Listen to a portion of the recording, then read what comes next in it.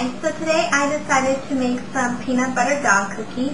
I found this recipe online at i-love-dogs.com and it is very easy and straightforward. All you need is two cups of whole wheat flour, a cup of milk, a cup of peanut butter, and one tablespoon of baking powder. I've already done a batch this morning. This is my second batch and it actually is a great recipe. So if you're wondering how effective it is, it's really good.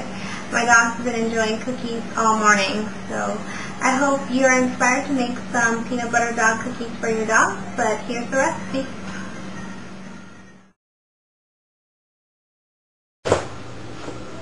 Okay, so here are the four main ingredients.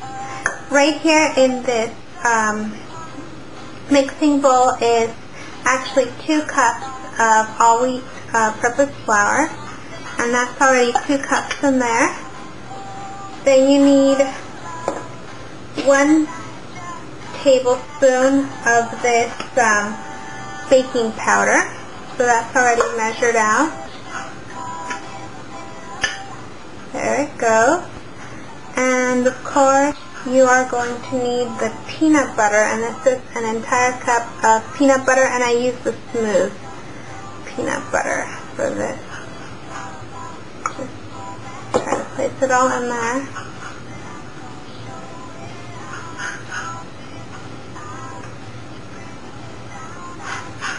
Kind of easier said than done since peanut butter is so uh,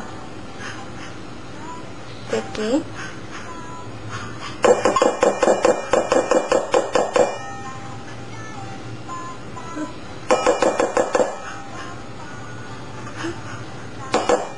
I'm actually just going to place this in there. And of course the milk. And that was just one cup of milk. I'm going to put it in my mixer.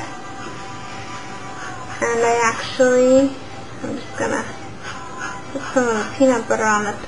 I'm not sure which paddle this is uh, called, but it's the one that works the best for this type of mixture. So just go ahead and push it down, lock it in, and I am going to do it on number four. And just let it mix for about maybe two, three minutes until it's all blended, and you'll see it. So here is some of the dough already rolled out. I suggest you actually roll it in between two sheets of wax paper but I'm actually out, so I just put a little um, clear wrap on top and I rolled it out. It's probably about a quarter inch um, thick, and this is my cookie cutter. So, I'm going to make three of them, I think.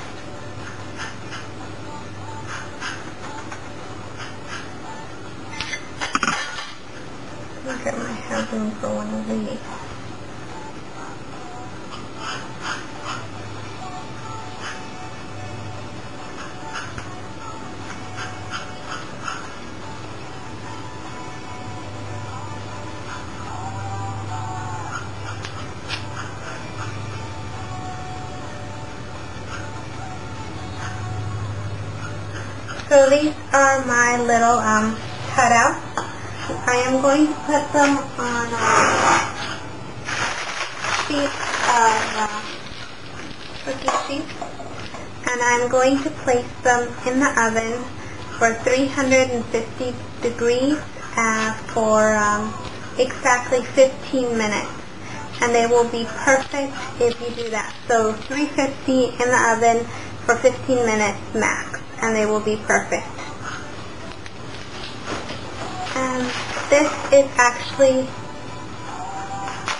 this is actually the bag of finished uh, doggy cookies from this morning and they came out absolutely perfect, not too burned.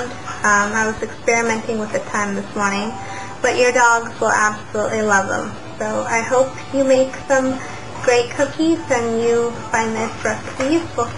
Thanks for watching.